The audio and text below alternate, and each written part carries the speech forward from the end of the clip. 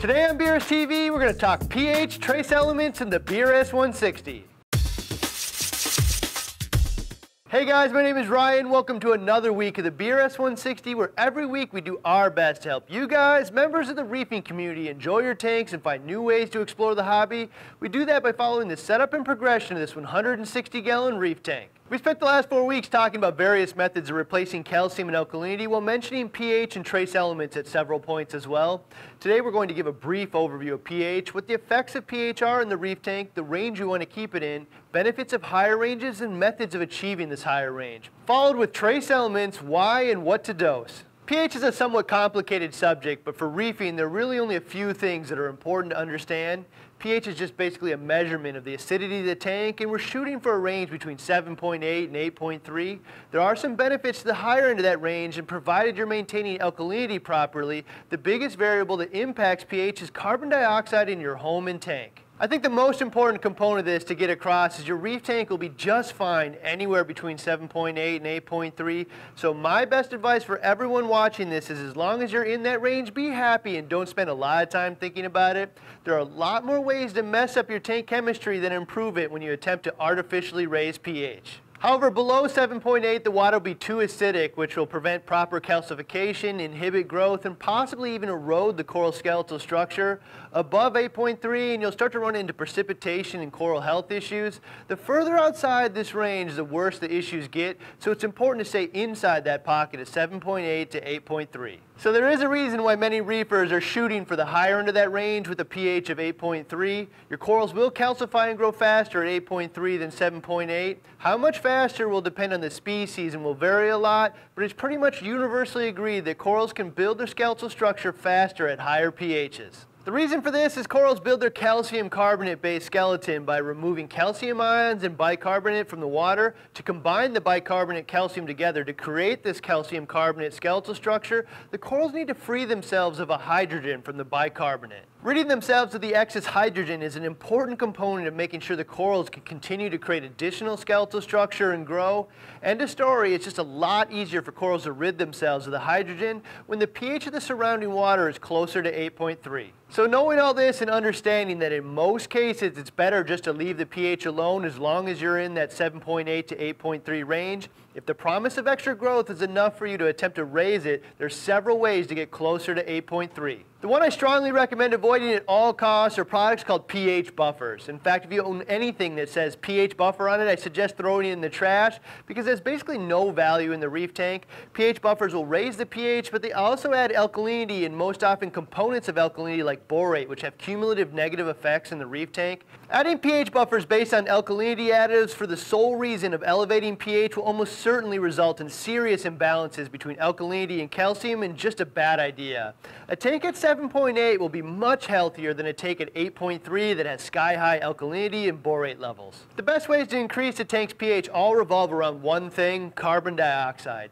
As we mentioned earlier, the number one element that impacts pH in the reef tank is carbon dioxide levels in your home and tank. Carbon dioxide will react with hydrogen in the tank to create carbonic acid and lower the tank's pH, so reducing the amount of carbon dioxide will reduce the resulting carbonic acid and increase the pH of the tank without impacting other elements of tank chemistry. Simplest way is just to open up your windows. Today's homes are often sealed pretty tightly and carbon dioxide builds up from all the people and pets inside breathing.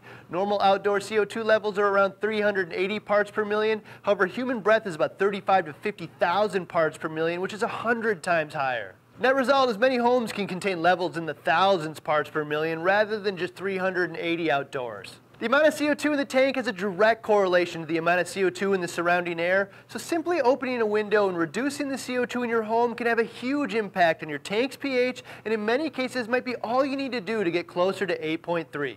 Many of us live in summer or winter states where opening windows isn't a realistic option. You could install an expensive ventilation system, but that's probably outside of what most people are going to do to raise the pH in their reef tanks. Luckily, there's some solid alternatives. First one is you can draw air from the outside into your protein skimmer. There's a tremendous amount of gas exchange happening inside your skimmer, so this is a pretty easy way to increase your tank's pH. However, most skimmers operate on a Venturi, so longer tubing runs are going to significantly reduce the amount of air injected into your skimmer. A good alternative to this is simply removing the CO2 from the air entering your skimmer with a CO2 scrubber media. This is probably one of the easiest to install methods, but also costs the most because there's a consumable media involved. How long the media lasts is largely dependent on how much air the skimmer draws. If you have a giant skimmer that draws a ton of air, it'll deplete faster than a smaller skimmer. Also note that you can wide the skimmer intake, so some of the air has the CO2 removed mixed with household air. You can also use a refugium to remove carbon dioxide from the tank. Growing plants consume carbon dioxide as part of photosynthesis. This is a reason why the tank almost always has a higher pH during the day when the tank's lights are on and there's all kinds of organisms consuming carbon dioxide. At night, photosynthesis stops and CO2 levels build up, dropping the tank's pH. Some reefers will only light the fuge at night to try and counter this effect, and others will light the refugium 24 hours a day to give a continuous pH boost.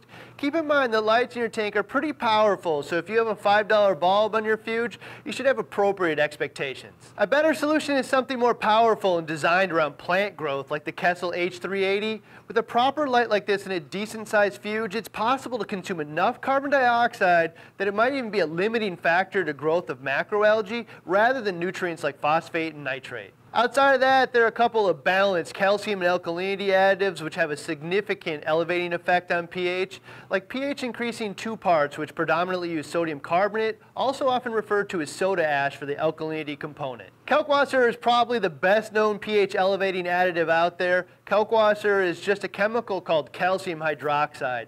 Once it's dosed to the tank, the hydroxide combines with the carbon dioxide in the tank to form carbonate alkalinity, which is used by corals and significantly reduces the available carbon dioxide in the tank. Keep in mind that in most cases you shouldn't dose Kalkwasser or 2-part for the sole purpose of increasing pH. Only use them to maintain proper calcium and alkalinity levels in the tank. The higher pH is just a nice side effect of using these methods to maintain calcium and alkalinity. If I had to recommend my favorite options for maintaining a higher stable pH, it would either be a solid refugium setup because there's a variety of benefits associated with well-designed refugiums. Very closely behind that, I often recommend Kalkwasser mixed in with your auto top-off water as your calcium and alkalinity solution.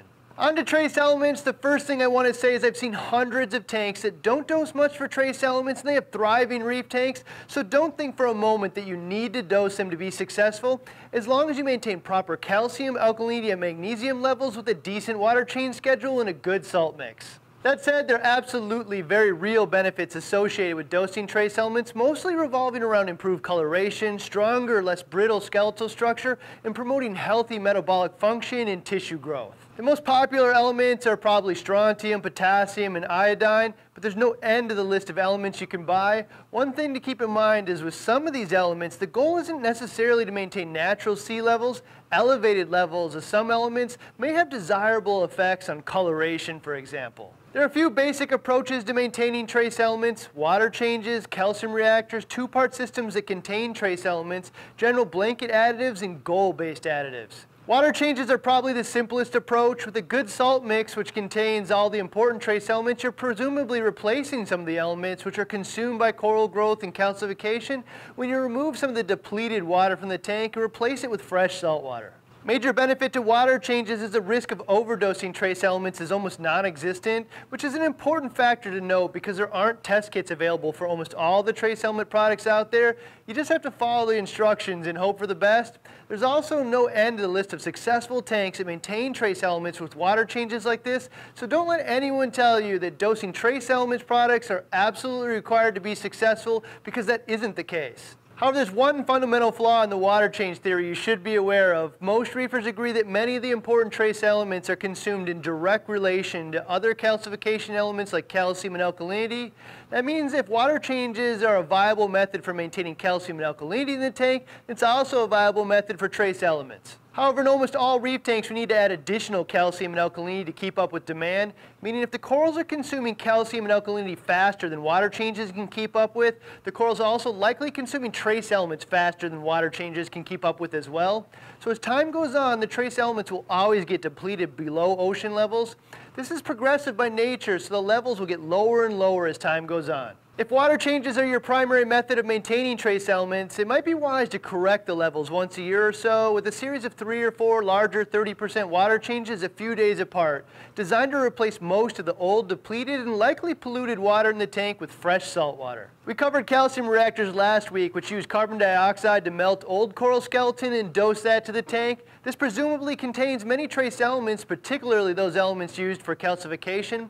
I think the automatic trace element replacement, which is inherently in close relation to calcium and alkalinity, is one of the biggest benefits to a calcium reactor. There are several two-part additives out there that contain trace elements like ESV, where some of them are mixed directly into the two-part.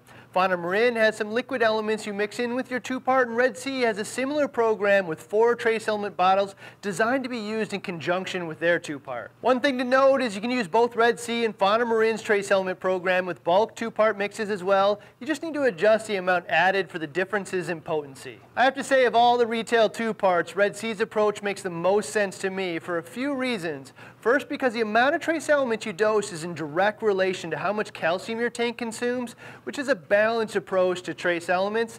Second, by keeping the four elements separate, they prevent precipitation issues and maximize the amount of trace elements which can be included. Lastly, the elements say exactly what each bottle is intended to do, so you can measure the success and decide for yourself if it's worth it. This is where all the other hundreds of trace element additives out there come in. If you run bulk two-part, Kalkwasser, or a retail two-part which only includes some trace elements, you might want to consider some additional products. You can use anything from all-in-one products to a whole slew of products designed for specific applications. The best piece of advice I can give here is remember you can have a healthy, thriving tank with none of these products, so the ones that you add need to have some type of perceivable benefit meaning only dose those that distinctly say what they're capable of achieving for you in the tank, such as specific coloration, like bringing out reds, greens, or blues. Most of the more reputable lines have fairly accurate claims in this regard. However, if you don't see these benefits, simply stop buying them. Many will claim other benefits like polyp extension, tissue health, and increased growth. Watch for these things and only use the product if you're achieving them to a degree that's satisfactory to you. Many will likely have some fairly dramatic benefits and others hardly noticeable. There's no reason to pay for hardly noticeable. As far as these separate products are concerned, I think the HW line of additives are a good affordable option for a close to all-in-one solution. Beyond that, I think the KZ line is hands down the most proven and has the largest global group of users, most of which are very seasoned reefers and it has a robust community where they all share results. There just isn't any other brand out there that has anything close to this type of following. Many people think of KZ as the Zeovit system, which is one of the offerings, but almost all the products can be used on any tank, regardless of if you use Zeovit. They have a billion tiny little blue bottles, so it can be kind of intimidating. I'd say the most popular are K-Balance, B-Balance, potassium iodide fluoride, and elements inside the Nano Power package, Coral Vitalizer, Pohl's Xtra, amino acid concentrate, and sponge power. If you're interested, take a minute to read the customer's experience in our reviews. Every KZ product on our site also has a link to the KZ product guide, so check it out. That pretty much wraps up pH and trace elements. Last week we added a poll to the video and asked you what we should use on the tank. Two-part, a calcium reactor alone, or a reactor and Kalkwasser. It was close, but two-part one, I have to say the vote was a lot closer than I would have thought, and a third-party candidate probably stole the win from calcium reactor with Kalkwasser, but we're going to stay true to the results and stick with two-part for the BRS 160. This week we're asking all of you, how do you maintain your trace elements and what do you recommend to other reefers? So click that small eye in the upper right hand corner and vote. Note mobile users will need to download the YouTube app to vote or see results. As always, I hope we shared something you found helpful with dosing trace elements on your reef tank. If you did, give us a quick thumbs up after you place your vote and subscribe. See you next week with week 34 testing and one week later it's time to start adding corals.